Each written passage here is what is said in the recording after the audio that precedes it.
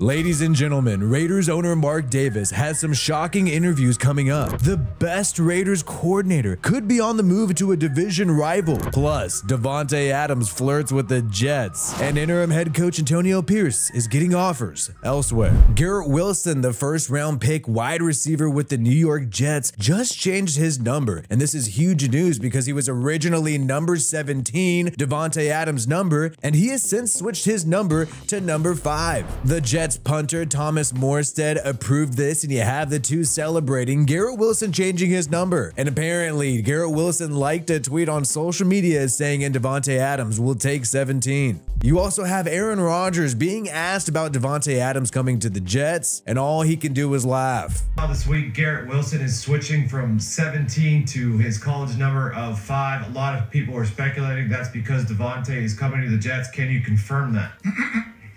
Ooh.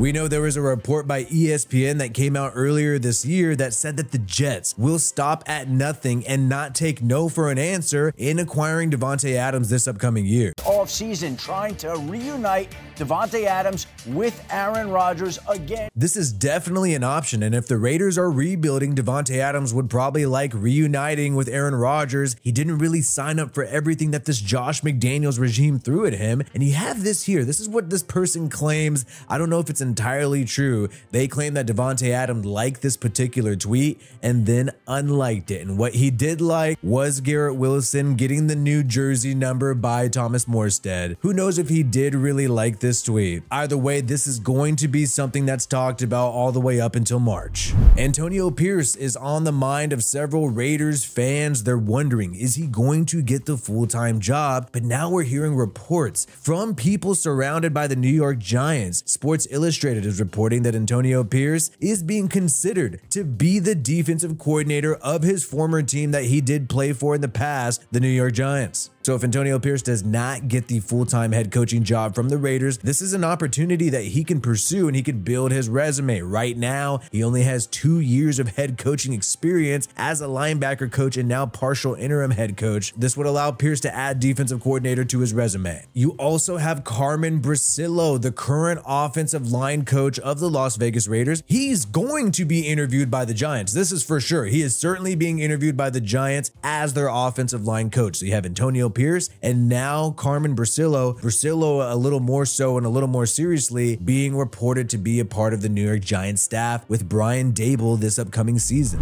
The reason why you have all these people interviewing elsewhere is because Mark Davis and the Raiders gave the current Raiders staff permission to seek interviews elsewhere. They did not want to block them. They just want to be informed as to where they interview. This is sort of bad for Antonio Pierce because it shows that the Raiders are willing to let the staff that he would likely retain walk. One of the big ones that might end up walking is Champ Kelly. Champ Kelly, the interim GM, is supposed to eventually interview with the Raiders for the full-time general manager job. But in the meantime, David Tepper, the owner of the Carolina Panthers who recently threw a drink on a Jags fan, this guy might be Champ Kelly's future boss because he wants to interview Champ Kelly as well. They've requested an interview with GM Champ Kelly for their vacant GM position. So the Raiders aren't going to be able to just grab Champ Kelly if they want want to, there is going to be some competition for him. Keep in mind, Champ Kelly was the guy who decided to promote Antonio Pierce to interim head coach. So if Champ Kelly moves on, this is also kind of bad for Antonio Pierce.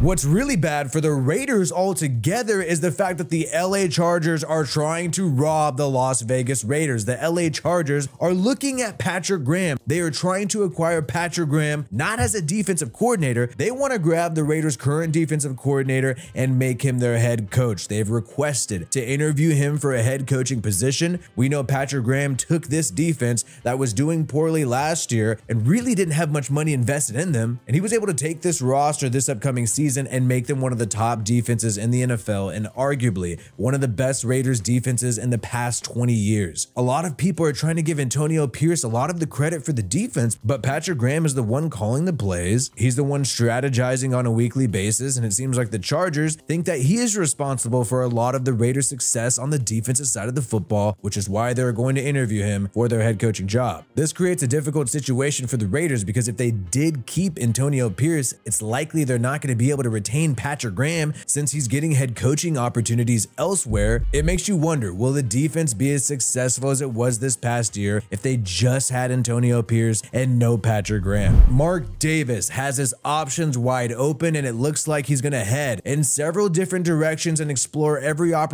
possible, which is why he is trying to take some LA Chargers leftovers and interview Tom Telesco, the former general manager of the LA Chargers. This is huge news. So we have Champ Kelly interviewing with the Carolina Panthers for a GM position, and we have Patrick Graham interviewing with the Chargers for their head coaching position. And now we have Mark Davis interviewing GM Tom Telesco, and it seems like he's going to stick with his strategy that he suggested earlier in December when Mark Davis said that he would likely choose a GM first before a head coach.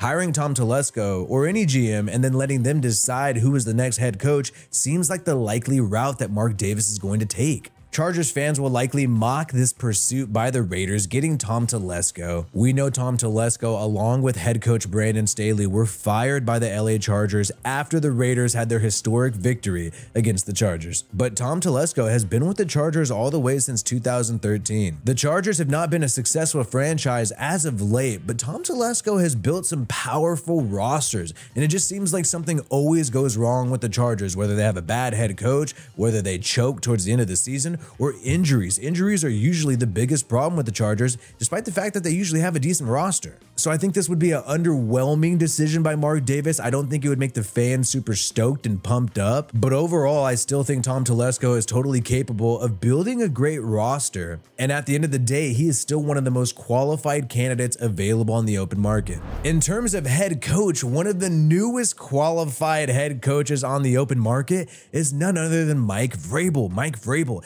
has recently been fired by the Tennessee Titans. They want to go in a completely different direction. Would you cut your dick off for a Super Bowl? Oh, been married 20 years. Yeah, probably. You Vrabel has been honored to be the coach of the year in the past. This guy is a talented person I think would fit well with the Las Vegas Raiders. You also have NFL insiders like Jordan Schultz who believe Mark Davis would be interested in a big name coach like Mike Vrabel. Hey, Mark Davis, the owner of the Raiders, likes the idea of a big fish type of hire. Mike Vrabel would be that in a big time way.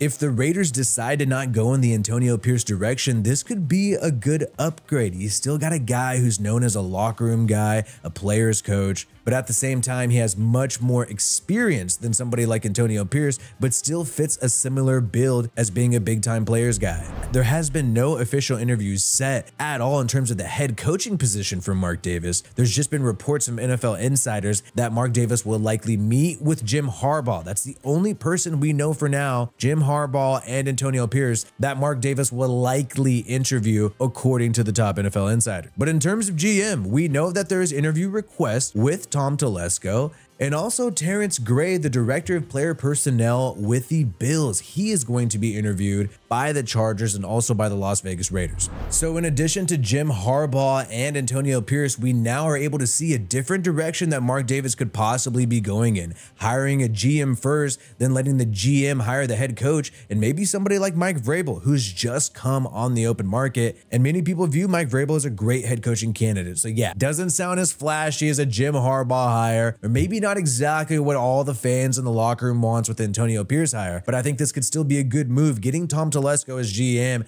and also Mike Vrabel as head coach. We'll see if it happens. Time will tell. Let me know your thoughts in the comments below. What do you think Mark Davis should do? How do you feel about what he's currently doing? Whoa, are you still watching at this point? If you're watching at this point in the video, even though you might think I'm an asshole, even though you might disagree with some of my takes, you must really enjoy this content. So please subscribe to help keep this channel going. I mean, you're watching this deep in the video, it only makes sense. My name is Wi-Fi Willie. Peace out, and I hope you have a good one.